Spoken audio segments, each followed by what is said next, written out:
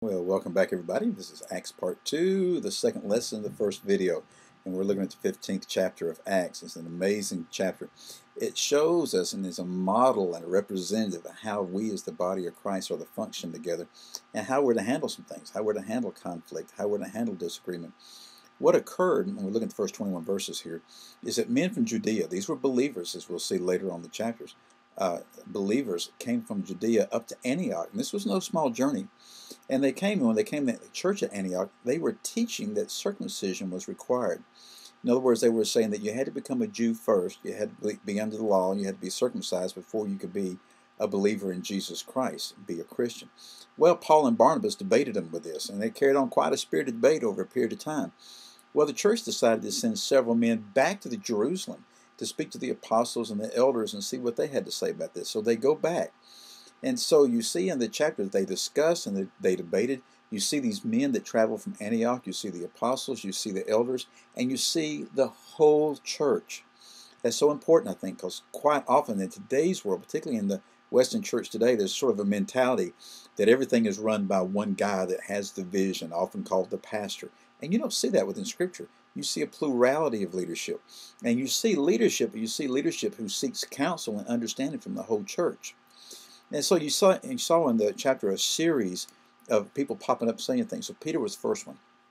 Peter stands up and he says, You all know how the Lord chose me to take the gospel to the Gentiles first. In other words, that he didn't choose the Jewish leadership. He didn't take uh, the, the ones that were Jews first and then believers. He chose Peter. Okay?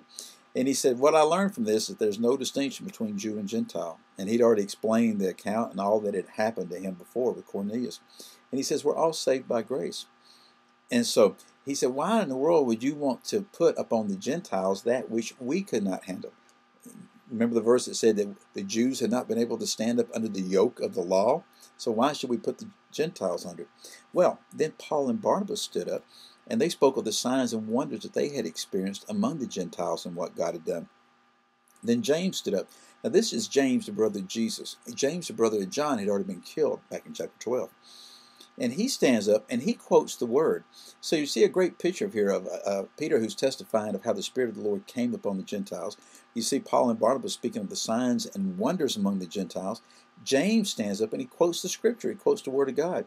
And he uh, quotes a passage that talks about how God took for himself Gentiles. And so James' bottom line with this is let's not bother them with this. Okay, let's not bother with them. There's no reason to put the law upon them. And so they all agreed, including the whole church. You see the phrase there, the whole church again.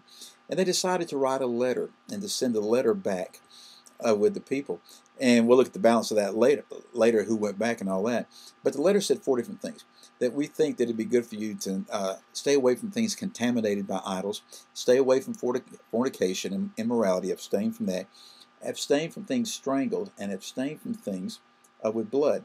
And you say, well, isn't that part of the law? Isn't this part of the things that are going on that, that they just said that you don't have to adhere to? Well, you did some cross references in that, and you saw what was being said. Um, the Lord said that life is in the blood. We're not to eat and drink blood. Life is in the blood.